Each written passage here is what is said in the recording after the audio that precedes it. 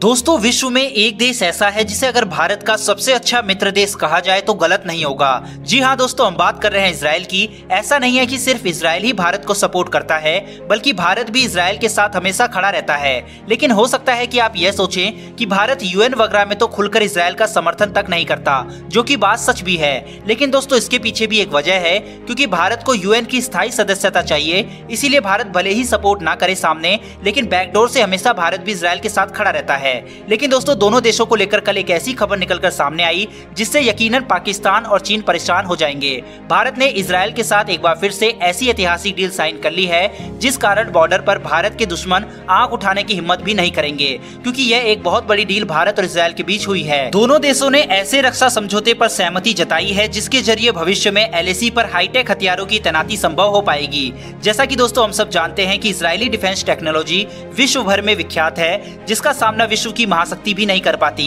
यही वजह है कि अमेरिका तक भी इसराइल से डिफेंस सिस्टम खरीदता है। इसराइली डिफेंस सिस्टम का कर्तव्य तो गाजा पट्टी में हम सभी ने इसका प्रदर्शन सरेआम देखा। एक इतना छोटा देश होने के बावजूद इसराइल आज पूरे इस्लामिक देशों के ऊपर भारी है, जो की उसके दुश्मन है। और इसराइल के साथ ही भारत की रक्षा कंपनी और भारत का रक्षा अनुसंधान एवं विकास संगठन, यानी कि डीआरडीओ फ्यूचरिस्टिक वेपन बनाने का कार्य करेगी। दरअसल दोस्तों, वियोन न्यूज़ की तरफ़ से जारी हालिया आर्टिकल में इस बात का खुलासा हुआ है कि इस आर्टिकल के मुताबिक भारत और इसराइल नए तकनीक के सहयोग और मज़बूत बनाने के लिए नेक्स्ट जनरेशन डिफेंस टेक्नोलॉजी पर हस्ताक्षर किए हैं। दोस्तों, इस कॉन्ट्रैक्ट के तहत डीआरडीओ और इसराइल की D R N D defence company high tech armour drone robotics artificial intelligence और क्वांटम कंप्यूटिंग जैसे हाईटेक प्रोडक्ट पर काम करेगी।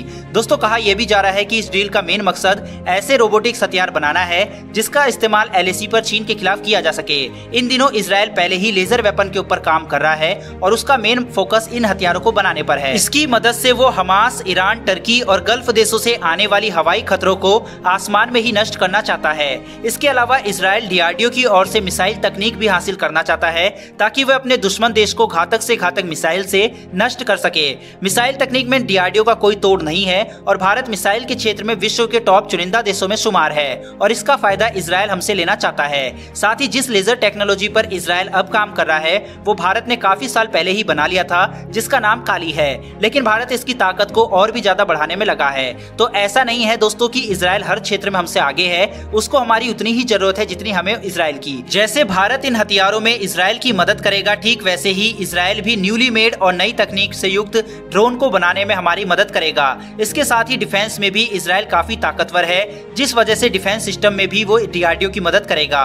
डीआरडीओ पहले ही बीएमडी सिस्टम यानी कि बैलिस्टिक मिसाइल डिफेंस सिस्टम पर कार्य कर रहा है, जिसमें अगर इसराइल की मदद ली जाती है तो ये और भी ज़्यादा घातक और खतरनाक बन जाएगा। इससे पहले भी भारत और इसराइल ने मिलकर कई हथियार विकसित किए हैं, जिसमें बराक एट मिसाइल सिस्टम भी शामिल है, जिसे हाल ही में जैसलमेर में डिप्लॉय भी किया गया है। इसके अलावा भारत इसराइल के साथ मिलकर भारत में ही मिलिट्री व्हीकल भी बना रहा है और ऐसा नहीं है कि इन हथियारों का उपयोग सिर्फ़ भारत ही करता है, बल्कि इसराइल भी इसका उपयोग करता है। हाल ही में जिस तरह की तस्वीर पीएम मोदी और बेनेट की सामने आई है, उससे साफ़ पता लगता है कि ये दोनों ही नेता किस कदर अपनी इस दोस्ती को आगे ले जाना चाहते हैं। दोस्तों, उस कुछ मिनटों की मुलाकात के बाद से ही काफ़ी सारी डील भारत और इसराइल के बीच सामने आ रही है। इसके अलावा जिस तरह से एस जयशंकर का स्वागत इसराइल में किया गया, वो हर भारतीय को गौरवान्वित करता है। वहीं कई बार इसराइल के नए प्रधानमंत्री बेनेट भारत के लिए कुछ न कुछ ऐसा बोलते हैं, जिससे पता लगता है कि इसराइल भारत से क्या अपेक्षा रखता है। भारत भी इसराइल को काफ़ी सपोर्ट करता है और भारी मात्रा में गुड्स को इम्पोर्ट और एक्सपोर्ट भी करता है। इसमें भारत इसराइल को बेसकीमती मोती, चमकीले पत्थर इलेक्ट्रॉनिक इक्विपमेंट का निर्यात करता है तो वही भारत करोड़ों रुपए की घातक हथियार को खरीदता भी है। भारत और इसराइल किसी पार्टनरशिप को आगे ले जाने के लिए ये डील साइन हुई है। हाल ही में भारत ने इसराइल के साथ मिलकर नया क्वाड भी बनाया है, जिसमें अमेरिका, यूएई, इसराइल और भारत शामिल है। यूएई जहाँ जम्मू कश्मीर में इन्वेस्टमेंट करने जा रहा है, वहीं अमेरिका से भी भारत कई डील कर रहा है। चीन के खिलाफ इसराइल का ये मैसिव सपोर्ट भारत की कूटनीतिक ताकत को दर्शाता है। हमेशा डीआरडीओ और आर्मी के लिए आप सब कमेंट बॉक्स में जय हिंद लिखते हैं, लेकिन आज भारतीय सरकार के लिए, उनकी सोच के लिए और उनकी कूटनीति के लिए कमेंट बॉक्स में जय हिंद अवश्य लिखेगा।